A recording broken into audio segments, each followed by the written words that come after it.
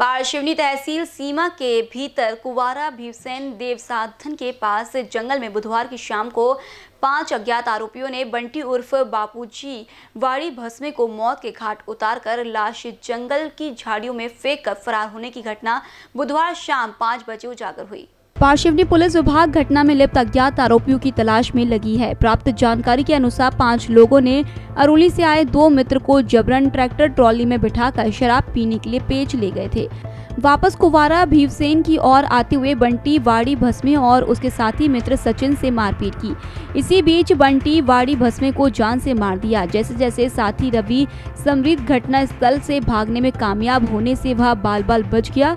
यह वारदात बुधवार की शाम पाँच बजे के आसपास होने की जानकारी प्राप्त हुई है। रवि उर्फ़ बंटी बापूजी वाड़ी भस में उम्र 30 साल, अरोली तहसील मोदा का रहने वाला था।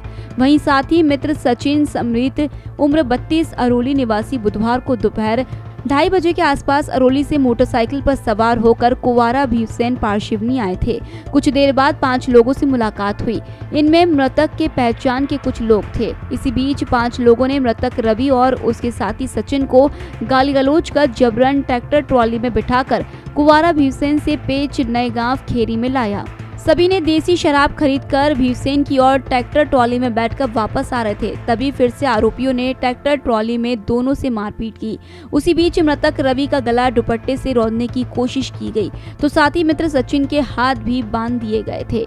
इसी बीच भीमसेन के पास ट्रैक्टर ट्रॉली रोड से पश्चिम की ओर 300 मीटर दूरी पर रोड से जंगल की ओर ले गए। तभी सचिन ने ट्रैक्टर ट्रॉली से छलांग लगाते हुए भाग गया। पर मृतक रवि को फिर से मारपीट की उसी दौरान उसकी मौत हो गई। रवि की लाश को वहीं फेंककर अज्ञात आरोपी घटनास्थल से फरार होने की जानकारी प्राप्त हुई है।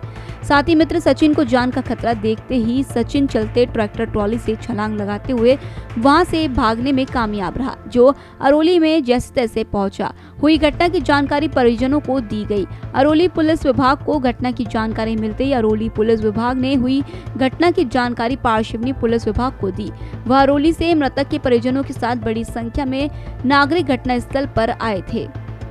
मृतक के सर पर बड़ी बेरहमी से वार किए जाने का अंदेशा लगाया जा रहा है। वह खून से लथपथ पड़ा था, जहाँ रवि के सर पर धारदार हथियार से सर पर वार किए जाने से उसकी मृत्यु होने का कयास लगाया जा रहा है।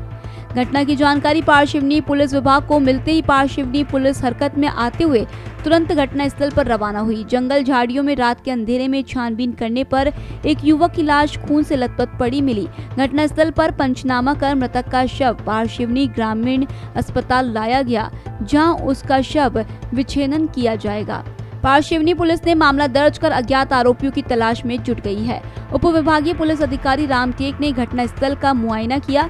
पारशिवनी पुलिस निरीक्षक हृदय नारायण यादव, पुलिस उप निरीक्षक संदीपान उबाले, पुलिस उप निरीक्षक ज्ञानोबा पलनाटे, पुलिस मुदत्सर जमाल, पुलिस रोशन काले चालक रवि बब पुलिस प्रेम झाड़े, पुलिस संदीप कड्डू, पुलिस सिपाही हरीश और अन्य पुलिस कर्मचारी घटनास्थल पर मौजूद थे। आगे की जाँच पार शिवनी पुलिस कर रही है।